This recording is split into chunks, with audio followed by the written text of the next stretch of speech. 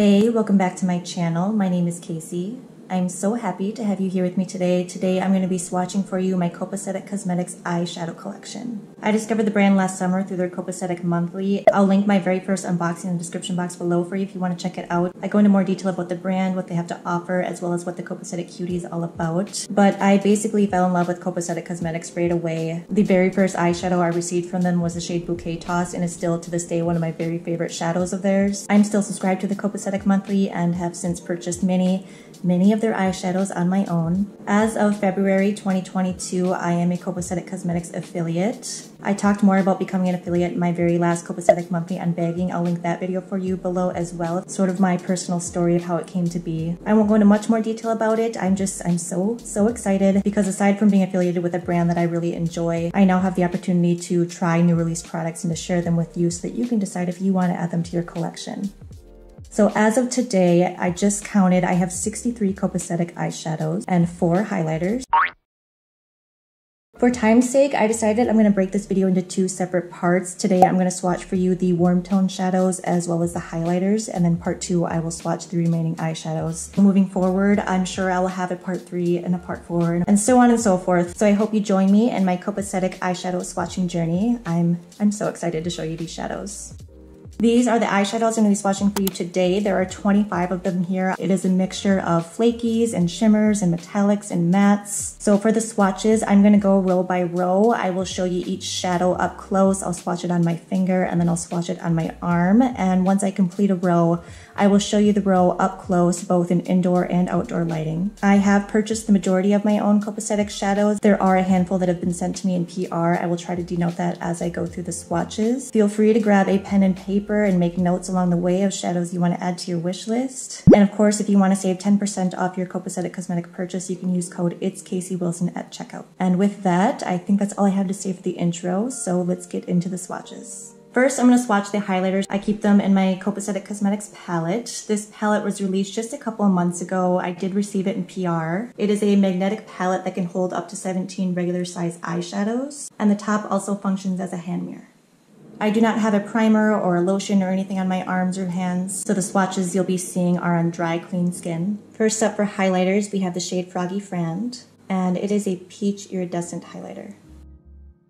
I do find the Copacetic highlighter formula to be a little bit powdery. When I apply them, I like using a small tapered brush, and then I take my sponge and really press it into my skin. And I don't find that it looks overly powdery or textured on my skin, and I do have dry skin, and I definitely have texture on my cheeks and around my eyes. This is the School Bus highlighter and it is yellow gold. This one isn't the best with my skin tone, but I do enjoy using this one in my eye looks. Their highlighters typically come in a compact and retail for $15 each.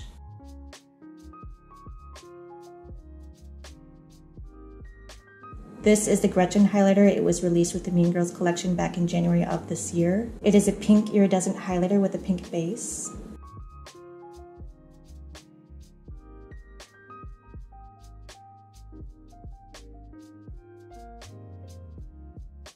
I really like this one because it seems like a lot of pink iridescent type highlighters have a white base, so it's more of a light white pink, whereas this one is just a solid pink.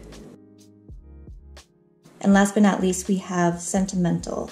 This one is similar to the very first one, Froggy Friend, and that it has more of a peachy orange flip, but this one has a stronger white base, so I feel it comes across as a little bit icier. It also has very fine gold reflex throughout.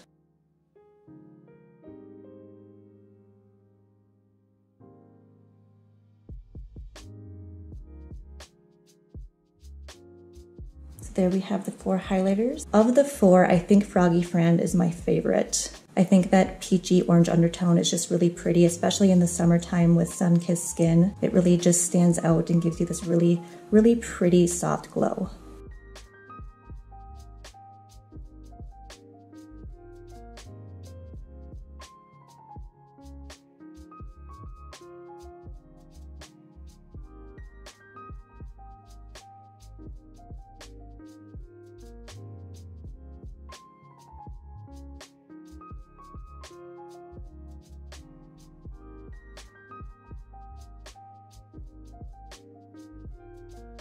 Moving into the eyeshadow swatches now, the first one I have to share with you is the shade Juice It or Lose It. This is from their Juicy Watermelon collection released this past March.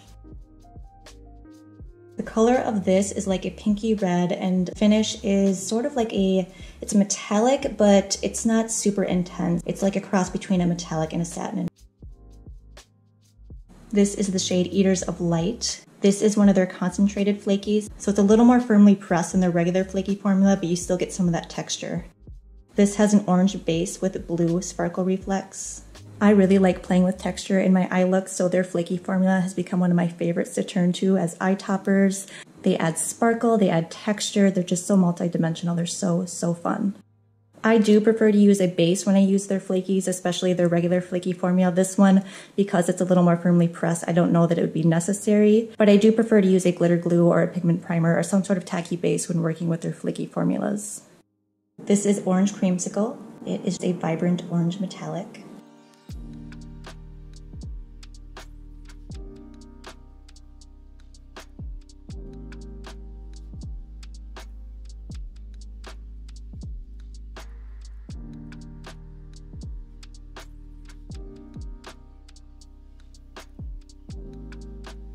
Next, we have a matte shade. This is No Thoughts, Just Bugs. It is an orange matte shadow.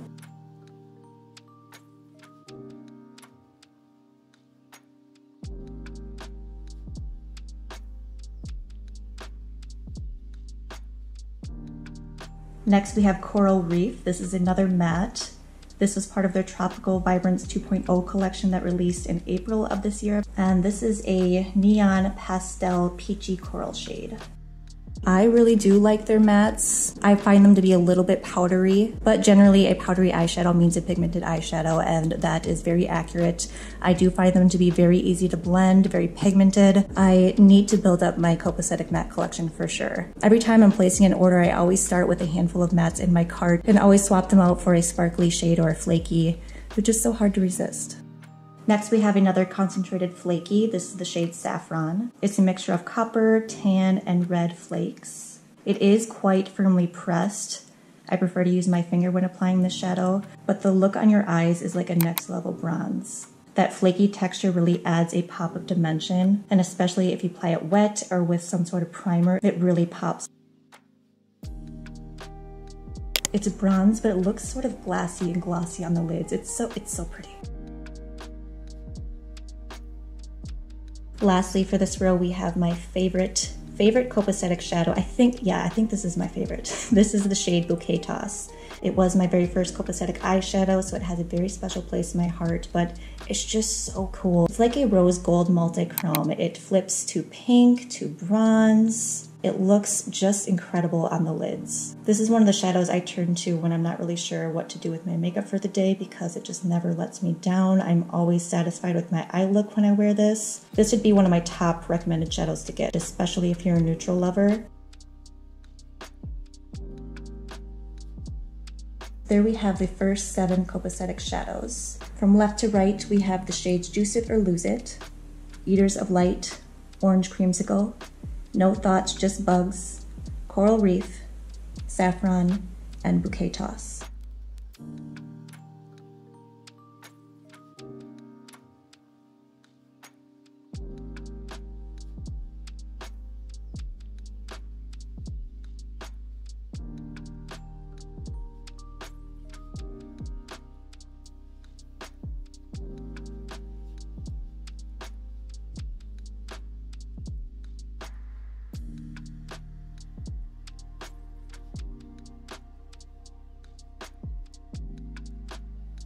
Moving on to the second row, we have the shade Enchantment. This is from their Realm of Magic collection. This is also one of my favorites. It has a light neutral base with pink, yellow, and gold flips. And it is one of their flakier formulas. I did just create a tutorial using some of my favorite copacetic shadows, this being one of them. I'm not sure if it'll come up before or after this, but I do generally like to use some sort of a tacky base with this one.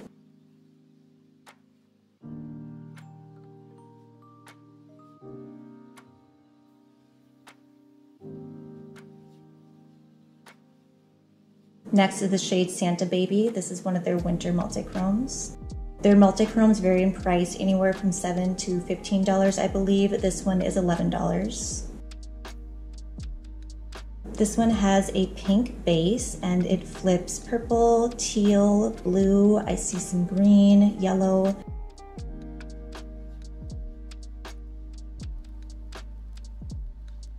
I was so obsessed with the looks Olivia created using the shadow. She's the one that sold it to me basically, and it does not disappoint. This is the shade Evocation. It is also from the Realm of Magic bundle. It has a light orange base with a peach and yellow shift. And just like Enchantment, this one also has a flaky texture. I believe I have three of the shadows from the Realm of Magic collection, and I love, love, love all three. They're some of my favorites, especially when I'm just wanting to add just like the final touch to my eye look, just something to really make it pop. In the viewfinder here, it's looking more pink, but from my perspective, I'm seeing the orange and the yellow. So I'll definitely try to capture some of those color flips in natural lighting for you. This is the shade Sheer. This was part of their Berry Cute collection. I believe this was released in March for $2 Tuesday. This one I did receive in PR. It's a pinky peach pastel shifting shimmer.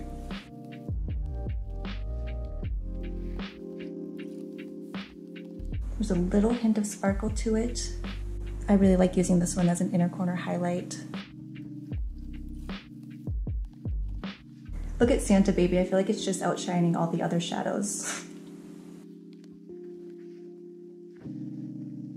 Next is the shade Cupid.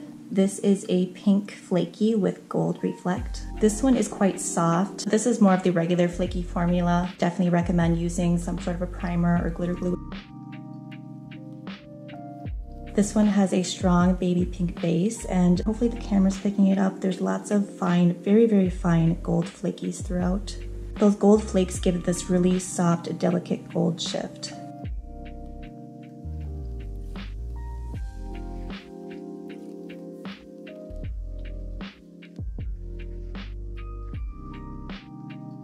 Next we have the shade Cyanide. This is one of my favorites.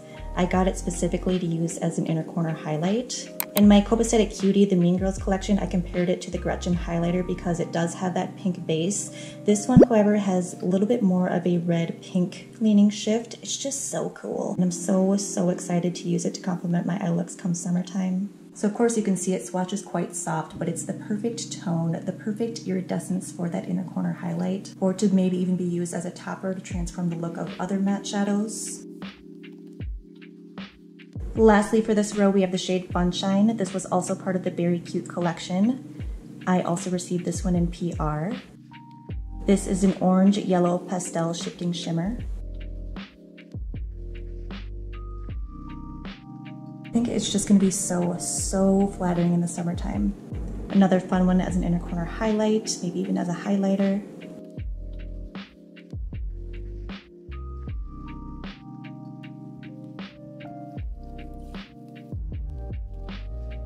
We have the second row of swatches. From left to right, we have the shade Enchantment, Santa Baby, Evocation, Cheer, Cupid, Cyanide, and Funshine. Don't let Santa Baby steal the show. I mean, I know it's a stunning, stunning shadow, truly unique, but all of them deserve their own time in the spotlight.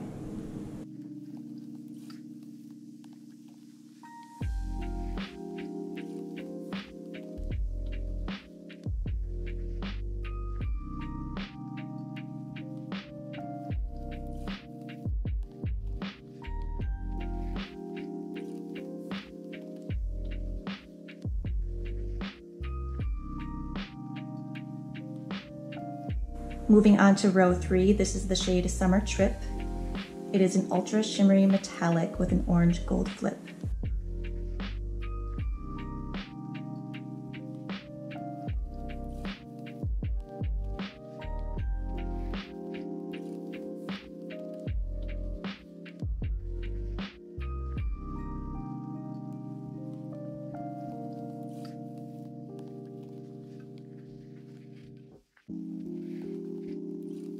This is the shade Lemon Water, another one of my favorites just because of how unique it is. This is part of their Shifting Shimmers collection, which I believe released last summer. It has a neutral base that shifts from yellow to purple, and on the Copacetic site it says it also shifts from yellow to teal. I think the yellow to teal is more apparent when it's used more so all over the lid. I see it once in a while in the shade, but I think the yellow and purple are the most predominant colors of the shadow. This is the shade Bedknobs and Broomsticks. It was part of the Witching Hour collection released this past September. This one is one of their multi-chromes, so it is $7 versus the regular $5. This shadow has an orange base with green, teal, and purple multicolor shifting shimmers. I created one of my favorite, favorite copacetic looks with this shadow. I'll pop it up here on the screen for you. The way it looks on the eyes is so different, so much more multi-dimensional. Swatches I don't think could ever do it justice.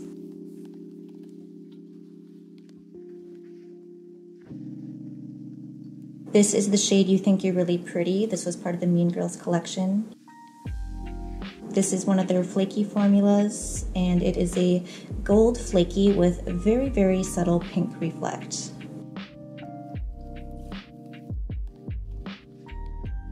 So hopefully you can see there's definitely gold shifting flakes there, but it has a very subtle pink base to it.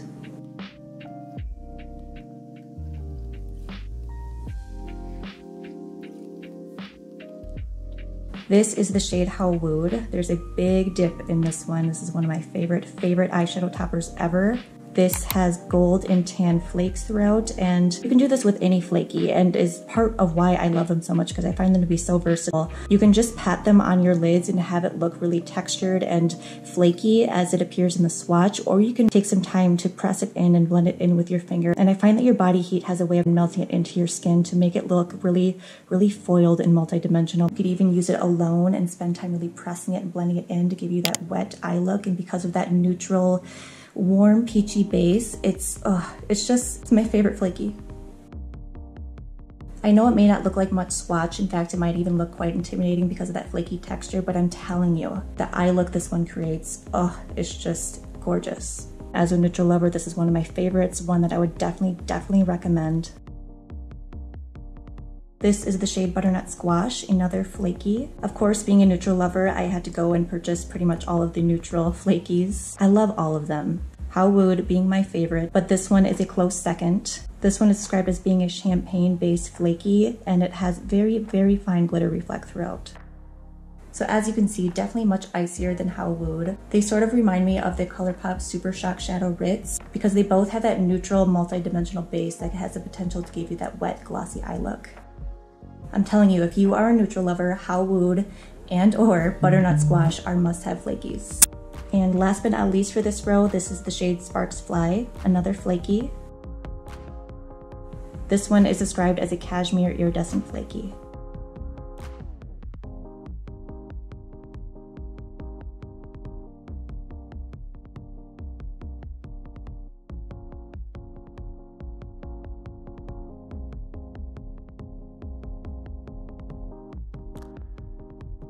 Here is the complete third row of swatches. From left to right, we have the shades Summer Trip, Lemon Water, Bedknobs and Broomsticks, You Think You're Really Pretty, How Wooed, Butternut Squash, and Sparks Fly.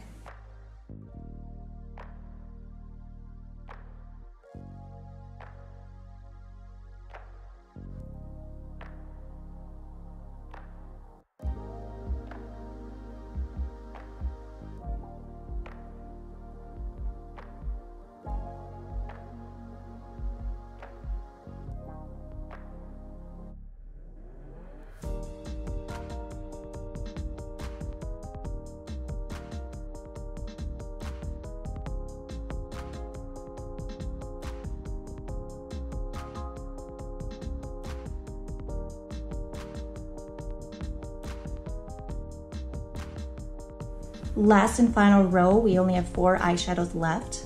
This is the shade Primrose. It was part of the Frosted Foliage collection. This shadow is described as a neutral sandstone metallic. This one is cool because it has this white gold base to it, but it has this cool tone taupey undertone. So you get sort of both of this warmth and this coolness in one. It just, it's so pretty. Hopefully the camera's picking it up because I see that flip so much more as it's swatched on my arm. You see how it has sort of this warm flip to it and then the light shines over it and you see that iciness peek through? I know it's a neutral, but I'm a neutral lover and this one's quite unique in my opinion. Next is the shade Mr. Sparkle. This is described as a metallic champagne with shimmers. It almost has a very subtle purplish pink iridescent flip to it. This is one of my favorites for a halo eye because it has that really icy base.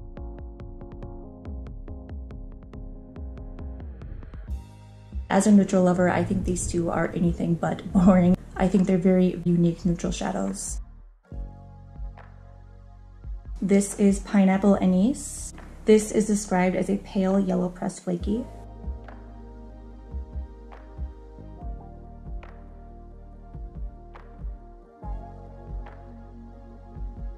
Definitely makes for a stunning topper.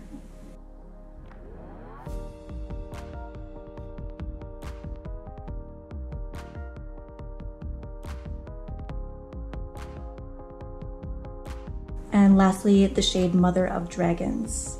This is described as having a red, orange, gold shifting aura with multicolor sparkle. I really love the contrast of the red and yellow on this one. It's so cool. So fun as an inner corner highlight or as a halo eye. The sparkle on this one is so very fine, so it makes the shadow really multi-dimensional on the lid. And it's so interesting because it has that red warm base, but in the shadows, it flips to this really icy, almost grayish color. It's a little bit grungy, but whimsical.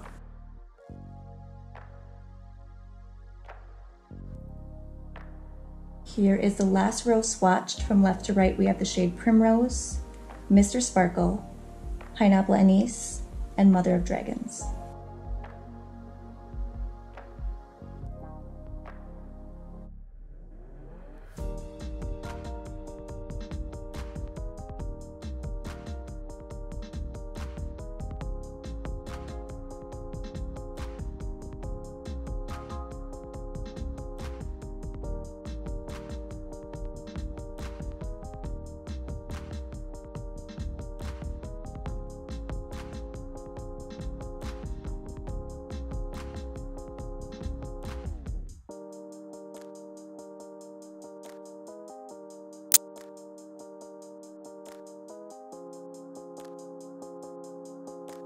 Just for reference, I went ahead and swatched all of the neutral flakies I have because that was the first thing that I wanted in my collection because I love using their flakies as toppers. These are some of my favorite toppers in my entire eyeshadow collection, so I had to get all of the neutral ones, of course. So from left to right, we have the shade You Think You're Really Pretty, How Wooed, Butternut Squash, Sparks Fly, and Pineapple Anise. I would say my favorite is How Wooed and then butternut squash.